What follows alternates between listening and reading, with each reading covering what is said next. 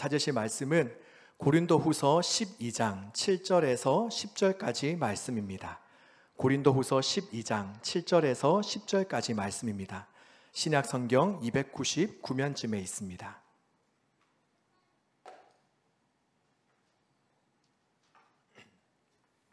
네, 다 찾으신 줄 알고 한 목소리로 합독해서 읽도록 하겠습니다.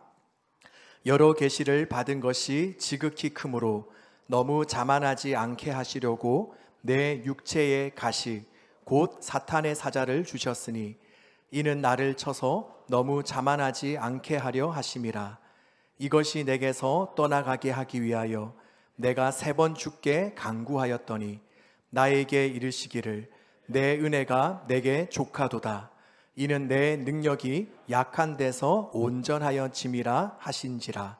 그러므로 도리어 크게 기뻐함으로 나의 여러 약한 것들에 대하여 자랑하리니 이는 그리스도의 능력이 내게 머물게 하려 함이라.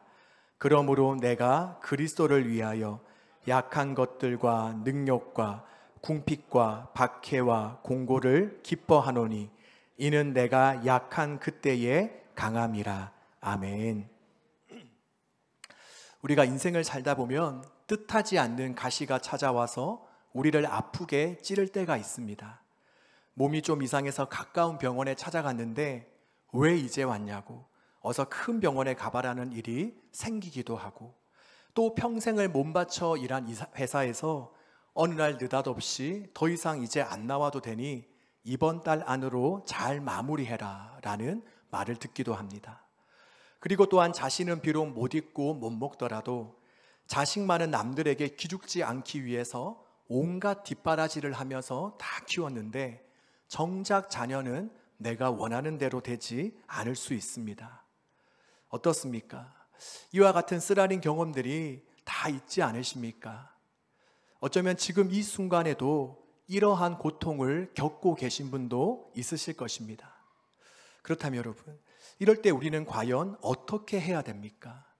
인생의 뜻하지 않는 가시가 나에게 주어졌을 때에 과연 우리는 믿는 자로서 어떻게 반응해야 하는 것일까요? 오늘 저는 본문에 나오는 바울의 모습을 통해서 이 부분을 한번 살펴보려고 하는데요.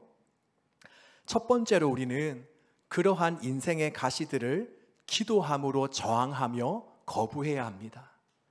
대개 사람들은 인생의 가시가 주어졌을 때에 그것을 부정하거나 또한 왜 하필이면 나야? 왜 하필 나에게 이런 일이 일어났을까라는 깊은 좌절감과 분노로 거절하며 대항합니다.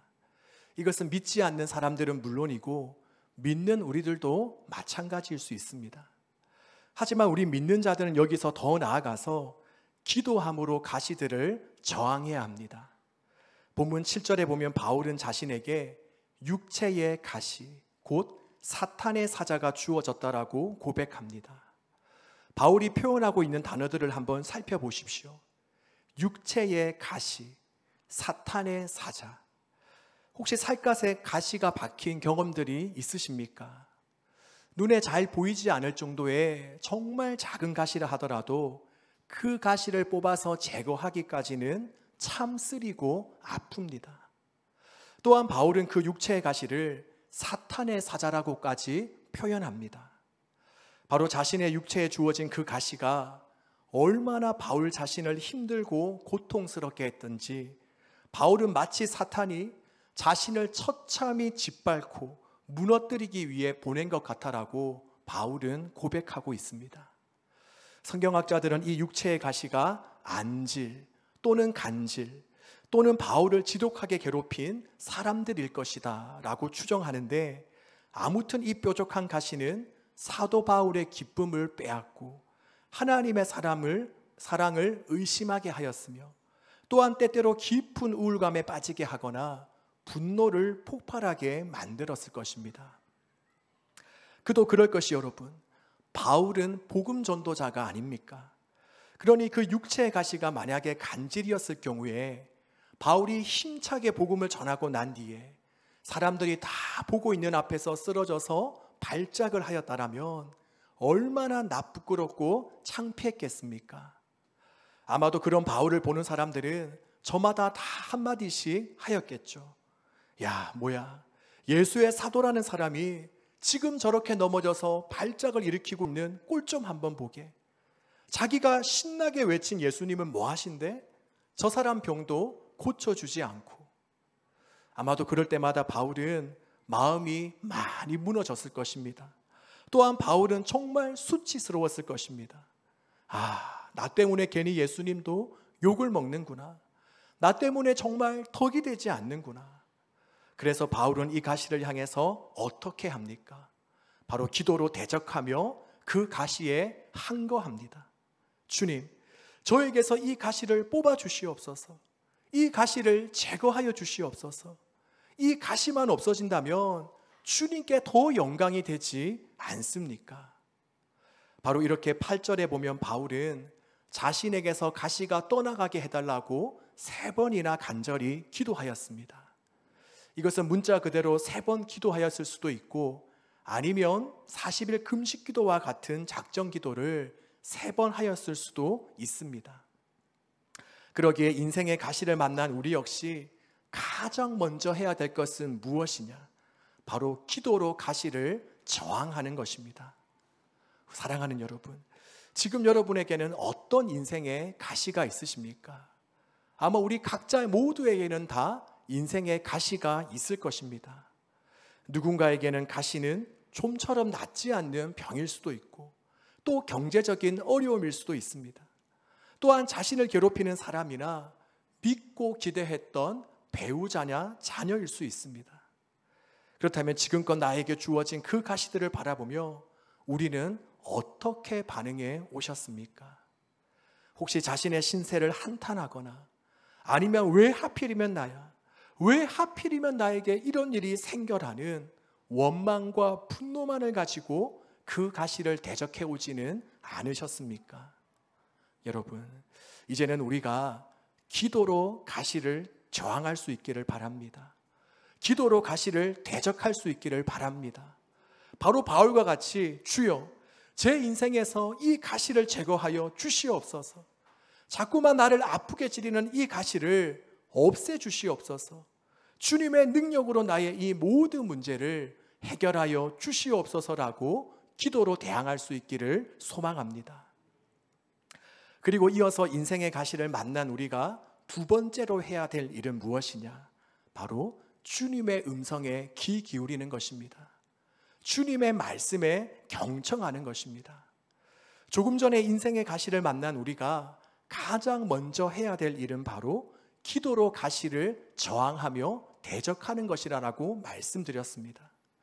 그런데 어쩌면 이미 이 자리에 계신 분 모두가 다 이미 그렇게 다 하셨을 것입니다. 바로 나에게 힘든 상황과 환경이 주어졌을 때에 하나님께 매달리며 기도로 도움을 요청하여 사셨을 것입니다. 그러면서 그 가정 중에 누군가는 나를 아프게 찌르는 가시가 완전히 제거되고 소멸되는 경험들도 있으셨겠죠. 그런데 또 누군가는 아무리 부르짖어 기도해도 별다른 변화나 하나님의 응답이 없었던 분들도 계셨을 것입니다. 바로 오늘 본문에 나오는 바울이 그러하죠. 그는 병들었거나 귀신 들린 많은 사람들을 기도로 고쳐주고 회복시켜 주었지만 정작 자신의 병은 어찌할 수가 없었습니다.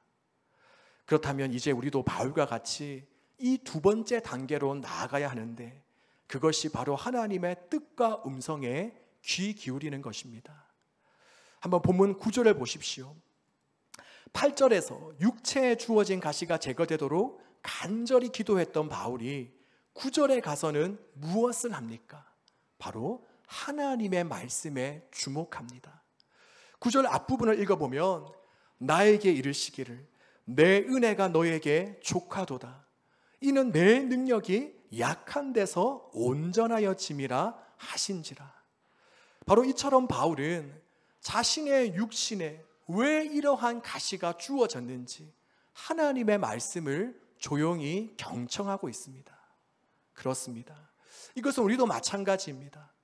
인생의 가시를 만나서 놀라 당황한 우리가 주님 살려주십시오. 도와주십시오. 어서 빨리 저에게서 이 가시를 제거해 주십시오. 라고 기도로 가시들에 대해서 맞섰다면 그리고 그러고 나서도 아무런 변화가 일어나지 않았다면 이제 우리는 주님께 물어야 합니다. 그러면서 주님의 말씀과 음성에 온전히 귀 기울여야 됩니다. 주님, 혹시 이 가시를 통해 제게 하실 말씀이 없으십니까? 이것을 통해 제가 깨닫거나 변화되어야 될 부분은 무엇입니까? 주님, 이러한 상황에서 주님은 제가 어떻게 하기를 원하십니까? 바로 나의 주인이신 하나님께 왜 내게 지금 이 가시가 허락되었으며 그리고 나는 이 가시를 어떻게 받아들여야 할지를 조용히 주님께 묻고 그 대답을 들어야 하는 것입니다. 그런데 많은 경우 우리는 1단계에서만 머무르며 2단계까지는 잘 나아가지 못합니다. 그저 내게 주어진 이 인생의 가시들을 기도로 대항만 하다가 그저 내게 주어진 이 가시를 제거하려고만 하다. 그럼에도 아무런 변화가 없자 이내 지쳐 영적 슬럼프와 좌절의 늪에 빠지게 됩니다. 그러다 결국 안타깝게도 신앙을 저버리기까지 하는 일이 발생하기도 하는 것이죠. 여러분, 혹시 이 자리에 내게 주어진 인생의 가시를 놓고 간절히 기도하였음에도 불구하고 아무런 일이 일어나지 않아 답답해 답답함을 느끼고 있는 분이 계십니까? 이제는 바뀌지 않는 현실에 너무나도 지쳐서 더 이상 기도할 힘도 없고 그저 하루하루 마음에 걱정과 근심 그리고 분노와 좌절만 쌓여가고 있는 분은 안 계십니까? 그렇다면 이제는 우리가 주님의 말씀과 음성에 귀를 기울일 수 있기를 바랍니다.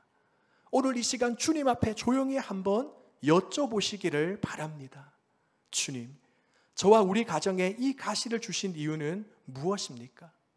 주님은 저와 우리 가정이 지금 이 상황을 어떻게 이해하고 받아들이기를 원하십니까? 그리고 저와 제 가족이 지금 해야 될 것은 무엇입니까? 라고 우리가 주님께 겸손히 물으며 그 음성을 음성에 경청해 보시기를 바랍니다. 그리고 또한 마지막으로 바울은 여기에서 한 발자국 더 나아가서 세, 번, 세 번째 단계로 들어갔습니다. 그것은 바로 주님의 말씀과 뜻을 겸허히 받아들이는 것입니다. 바로 믿음으로 수용하는 것입니다. 9절 후반부에서 10절 말씀 끝부분을 보면 바울은 이렇게 고백합니다. 그러므로 도리어 크게 기뻐함으로 나의 여러 약한 것들에 대하여 자랑하리니 이는 그리스도의 능력이 내게 머물게 하려 함이라. 그러므로 내가 그리스도를 위하여 약한 것들과 능력과 궁핍과 박해와 공고를 기뻐하노니 이는 내가 약한 그때에 강함이라. 아멘. 그렇습니다. 바울은 이렇게 하나님으로부터 육체의 가시가 주어진 이유를 듣고 나서는 크게 기뻐한다. 나는 약한 것들에 대해 자랑한다라고 고백합니다. 바로 지금까지 바울은 자신에게 육체의 가시가 주어진 것이 좀처럼 이해가 되지 않았습니다. 자신의 이성과 상식으로는 도저히 그것이 용납되거나 수용되지 않았습니다. 아니, 이것만 없으면 내가 복음을 더 강하게 전할 수 있을 것 같은데, 나의 이 육체의 가시가 제거된다면 더 많은 사람들에게 더 큰 영향력을 끼칠 수 있을 것 같은데, 왜 하필 나에게 이런 일이 일어났을까? 바울은 도저히 자신에게 주어진 그 가시를 용인할 수가 없었습니다. 그런데 기도하며 주님의 음성에 조용히 귀 기울이다가 바울은 드디어 주님의 말씀, 인생의 가시에 대한 전혀 새로운 해석에 대해 듣게 됩니다. 그것은 바로 사탄의 사자라고 여겨지던 그 가시가 바로 사탄이 자신을 무너뜨리고 짓밟기 위해서 준 것이 아니라 바로 하나님께서 자신이 자만하지 않도록 자신을 지켜주기 위해서 허락하신 보호막이구나라는 것을 깨닫게 되었습니다. 또한 더불어서 자신이 약할 때가 자신이 굉장히 힘들어서 고통 중에 있을 그 연약할 그때가 오히려 역설적이게도 하나님의 능력이 더 강하게 나타날 수 있다는 것을 바울은 깨닫게 된 것입니다. 그러자 여러분, 바울은 어떻게 합니까? 바로 이 말씀을 통해 세 번째 단계인 지금 자신의 현실을 믿음으로 수용하며 받아들입니다. 그렇기에 그 증거로 바울은 자신의 육체에 주어진 그 가시를 더 이상 부끄러워하거나 또 기도로 대적하지 않고 오히려 그것들을 기뻐하며 자랑하고 있습니다. 그리고 아마 그 뒤로 바울은 여전히 자신에게 육체의 연약함과 궁핍과 또 핍박과 어려움 등 여러 가지 가시가 있었지만 오히려 그때마다 하나님께 감사하며 더 힘차게 주의 복음을 전하였을 것입니다. 우리 사랑하는 여러분, 이것은 우리도 마찬가지입니다. 때때로 인생의 고난과 아픔, 그리고 우리의 인생의 쓰라린 가시는 물론 우리를 아프고 힘들게 하지만 반면에 많은 유익과 이로움을 안겨줍니다. 그러기에 시편 기자는 뭐라고 고백하고 있습니까? 고난 당하는 것이 내게 유익이라. 이로 말미암아 내가 주의 윤례들을 배우게 되었나이다. 또한 알 수 없는 큰 어려움을 겪고 난 욥은 그 뒤에 뭐라고 고백합니까? 내가 죽게 대하여 이전에는 귀로 듣기만 하였사오나 이제는 눈으로 주를 배움나이다 라고 고백하고 있습니다. 바로 이처럼 고난은 우리를 때로는 더 겸손한 자리로 이끌고 또 온전히 주님만 의지하고 바라보게 하며 또 이전에는 경험하지 못했던 하나님과의 놀라운 친밀한 교제와 만남을 가능케 하는 너무나도 큰 유익이 있는 것입니다. 카일 아이드면 목사님이 쓰신 나의 끝 예수의 시작이란 책에 보면 딕과 엘리자베스 부부의 이야기가 나옵니다. 이 둘은 아주 사이가 좋기로 소문난 인꼬 부부였습니다. 그런데 어느 날 엘리자베스가 뜻밖의 다발성, 다발성 경화증이라는 진단을 받게 됩니다. 바로 이 다발성 경화증은 뇌와 척추 신경의 손상으로 말미암아 근력이 약해지고 또한 감각의 장애를 일으키는 그러한 질병입니다. 아내인 엘리자베스는 처음에는 지팡이를 짓다가 그 다음에는 보행기를 거쳐 결국 힐체어에 타게 되었고 그렇게 아내의 몸이 불편해질 때마다 남편의 삶도 함께 불편해졌습니다. 그리고 아내의 질병으로 인해서 부부의 삶은 급속도로 깊은 절망의 수렁이에 빠지게 되었습니다. 하지만 부부는 남은 그 믿음을 전부 짜내어서 치유를 위해서 힘써 기도했습니다. 그리고 이들의 모습을 지켜보던 가족들, 친척들, 그리고 교회 식구들도 부부를 위해서 함께 기도하며 중보해 주었습니다. 부부는 기적에 관한 여러 가지 간증을 떠올리며 혹시 하나님이 자신들을 위해서도 기적을 베풀어 줄지 모른다라는 그런 희망을 품었습니다. 자신들도 얼마든지 기적의 주인공이 될 수 있다라고 생각한 것이죠. 하지만 시간이 점차 흐르면서 이러한 희망을 거두지 않고 있는 것이 오히려 이 부부에게 더 큰 고통이 되었습니다. 그러면서 어느 날 한 가지 가능성이 떠올랐습니다. 그것은 바로 부부가 지금껏 한 번도 생각하지 못한 가능성이었습니다. 그것은 뭐냐? 바로 혹시 지금 이 일이 어쩌면 우리를 위해서, 우리를 위하여 일어난 것은 아닐까라는 가능성이었습니다. 하루는 아내가 남편에게 물었습니다. 여보, 혹시 하나님이 내 몸보다, 나의 이 육신보다 나의 영혼이 더 중요하다는 사실을 가르쳐 주시려고 이 일을 허락하신 것이 아닐까요? 그러자 남편도 하나님께 물었습니다. 하나님, 이것이 긍휼을 배우기 위한 수업료인가요? 그러면서 부부는 점차 하나님의 방식에 대한 놀라운 깨달음을 얻게 되었습니다. 바로 지금껏 부부는 아내가 예전처럼 건강하게 살 수 있게 해달라고 기도했지만 하나님은 오히려 아내가 새 삶을 누리는데 더 큰 관심을 가지고 계신다는 것을 알게 되었습니다. 그리고 그동안 부부는 외적인 변화를 위해 힘써 기도했지만 하나님은 오히려 이들 부부의 내적인 변화에 관심을 더 갖고 계시다는 것을 알게 되었습니다. 그리고 지금도 엘리자베스의 그 몸 안의 지병은 여전히 떠나지 않고 있습니다. 여전히 그녀의 삶은 불편합니다. 하지만 이 부부는 이 고난과 그 가시를 통해서 그동안 알지 못했던 순종과 믿음과 그리고 성김과 사랑을 더 깊이 경험하고 체험하게 되었습니다. 바로 이처럼 부부는 자신들이 원하는 것을 위해서 기도했지만 결국 하나님은 그들에게 진정, 진정으로 필요한 것을 공급해 주셨던 것입니다. 우리 사랑하는 여러분, 이것은 우리들도 마찬가지일 수 있습니다. 지금 나에게 주어진 고난과 인생의 가시를 어서 빨리 제거해야 될 대상으로만 내게서 사라져야 될 원소로만 바라보지 마시기 바랍니다. 유진 피터슨 목사님이 번역한 메시지 성경 마태복음 5장 4절에 보면 이렇게 말씀합니다. 가장 소중한 것을 잃었다고 느끼는 너희는 복이 있다. 그때야 너희는 가장 소중한 분의 품에 안길 수 있다. 여러분, 바로 때때로 하나님께서는 우리의 그 인생의 고난의 눈물의 렌즈를 통해서만 보고 깨달을 수 있는 너무나도 좋은 복을 우리에게 허락하실 때가 있습니다. 어쩌면 지금 내게 주어진 인생의 가시를 통해서 하나님은 우리 하나님은 그동안 우리가 깨닫지 못한 것을 깨닫게 하시며 또한 우리의 인생에 진정으로 필요한 것을 주실지도 모릅니다. 바라기는 지금 내가 처한 이 상황과 환경을 우리가 믿음으로 잘 수용하고 받아들임으로 우리가 알지 못하는 주님의 그 크고 원대한 계획과 뜻이 저와 여러분의 삶 속에 이루어지기를 주님의 이름으로 축원합니다.